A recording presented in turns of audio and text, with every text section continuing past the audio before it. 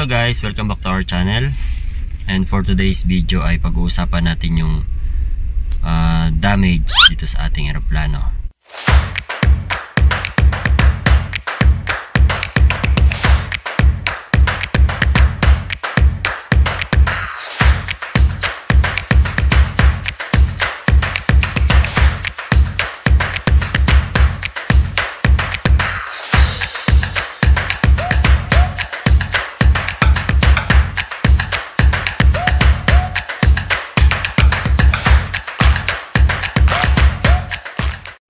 if you want to know what kind of damage we have on this aircraft, just keep on watching.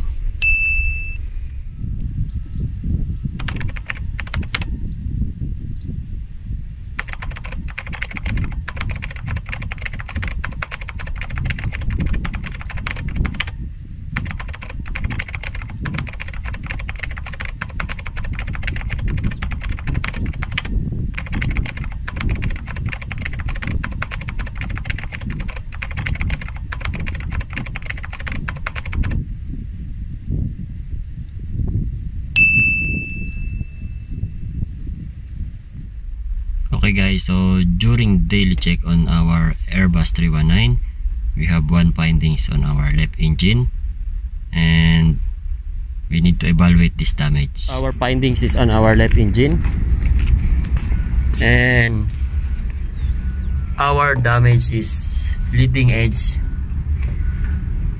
metal leading edge missing on our outlet guide vanes. I got a bad feeling about this. As you can see here this is our outlet guide vanes and you will see the metal leading edge was chipped off so it will be considered as missing. So this is after the pan blades. I think we can access this one using one hand but uh, carefully. It's just to put a speed tape here Okay guys, so usually kapag meron tayong damage aeroplano, ang una natin gagawin ay we will uh, check our manual. If this damage is uh, within allowable limits, otherwise we need to do something or we need to do temporary repair to put uh, the aircraft back in service. So the most important thing also when we work on engine, specifically here on inlet, we need to put a place. We need to put a mat here. Otherwise we will damage our inlet cowl. So if we damage this inlet cowl it will cost a uh, thousand of dollars to repair it even it is uh, only small nicks or a small dent. Okay guys so we will start uh, evaluation for this damage. And we'll check in the manual if it is allowable or not. Okay? Okay guys so we're now here on inlet cowl. This Airbus 319 and we will now measure our damage. And after we measure the damage we will check in maintenance manual. So specifically you can check uh, in aircraft maintenance manual or we will go to SRM which is the structural repair manual. So for this specific type of damage uh, we can see it on uh, AMM the allowable limits. Later I will show you. And uh, for now we will measure the damage and we'll see the limitation for this damage okay? So the damage classification for this one is uh, metal leading edge missing because it was chip off. Okay guys so after uh, I measure the damage and I look also for our reference for this damage and this is our details for our damage.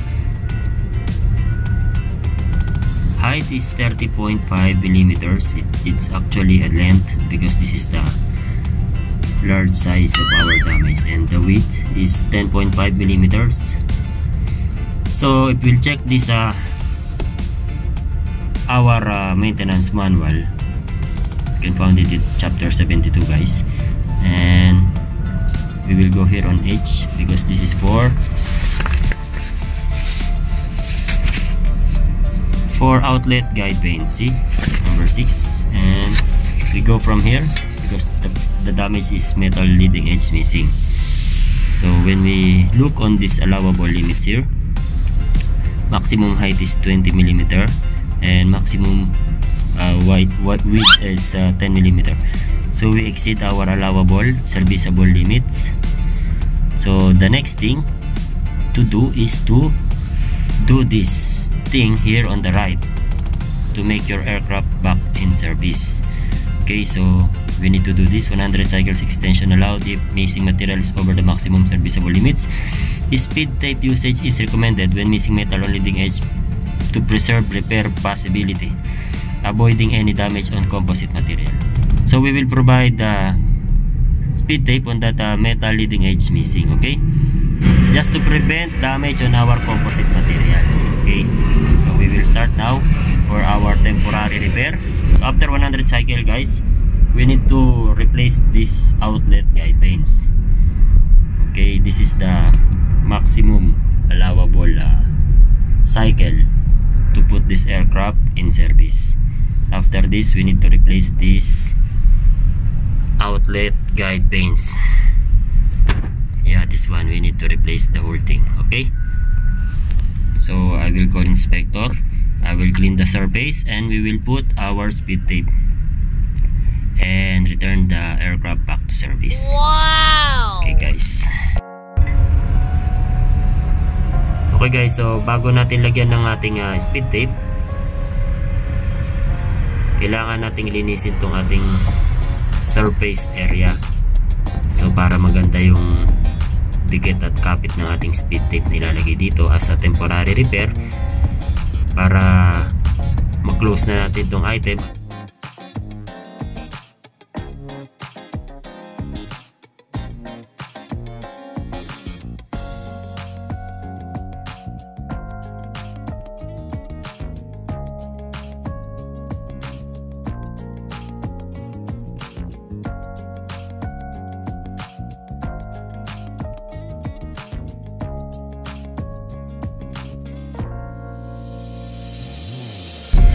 Ayan guys, so eto ko sa, sa labas.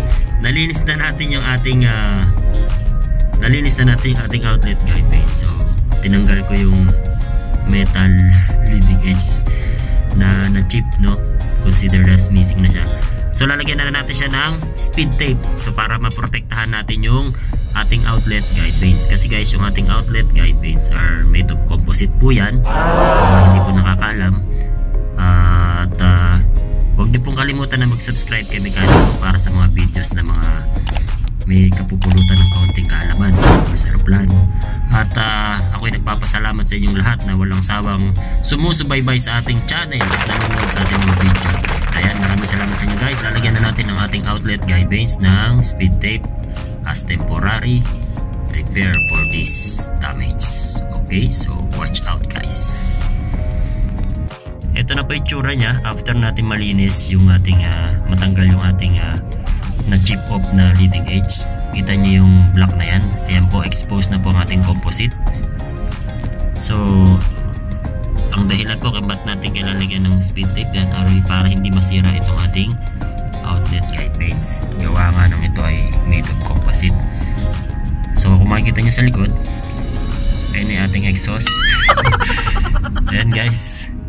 So, abangan nyo guys ang ating paglalagay ng speed tape.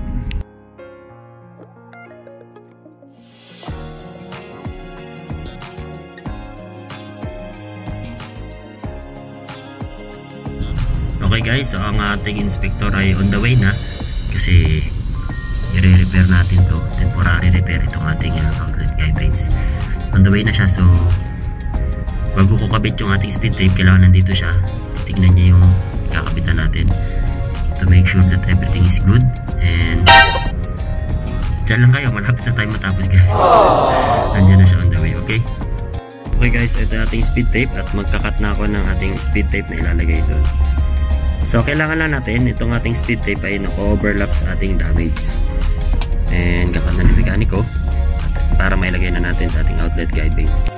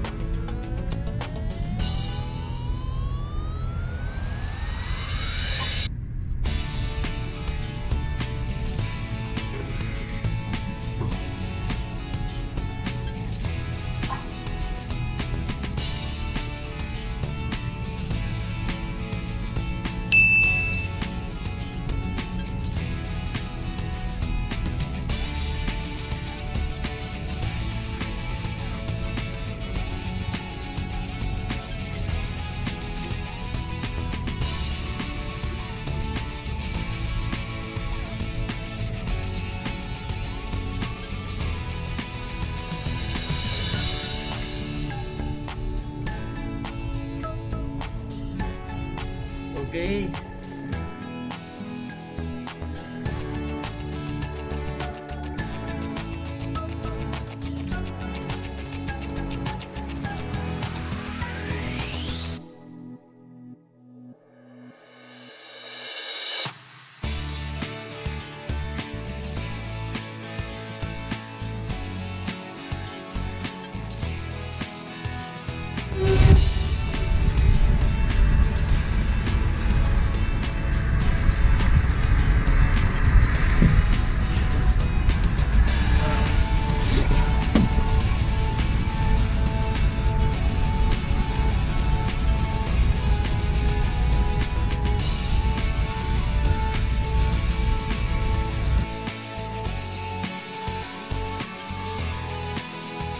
Ayan guys, so nakita niyo naman kung kung gaano kahirap maging isang mekaniko ng aeroplano. So, every day, we need to make sure that this aircraft is airworthy to fly. Means that uh, our aircraft is serviceable. Okay, we're done and uh,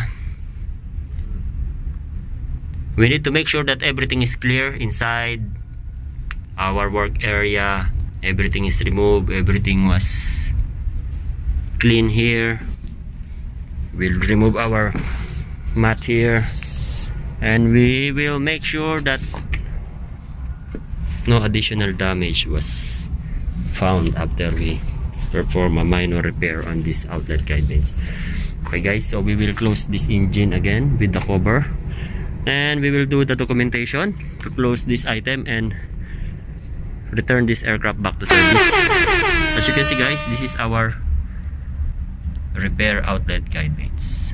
So we can fly this aircraft for 100 cycles as per our aircraft maintenance manual. Okay? So this is our uh, leading edge of our outlet guide guidelines. So from the back, you can see that the speed tape is all throughout our other side of our outlet guidelines as you can see here guys this is our speed tape and we're done for today. Thank you so much for watching